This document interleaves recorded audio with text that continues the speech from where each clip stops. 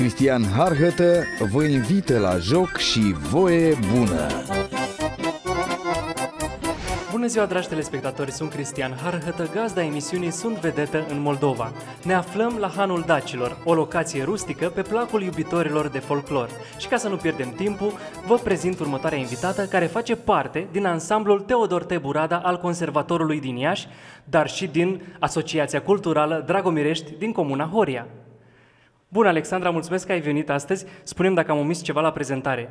Bună, Cristian, și bună tuturor telespectatorilor care ne urmăresc. Îi salut cu drag și cu multă căldură din suflet. Um, nu știu dacă ai omis foarte multe, în principal le-ai menționat pe cele două asociații. Cele mai importante, nu? Da, cele două asociații din care fac parte.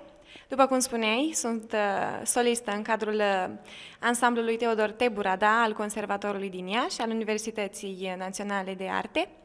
Și, în al doilea rând, uh, sunt uh, solistă, prim solistă în cadrul Asociației Culturale Dragomirești din satul meu natal, din Cotuvameș. Și nu e greu să faci parte din două ansambluri?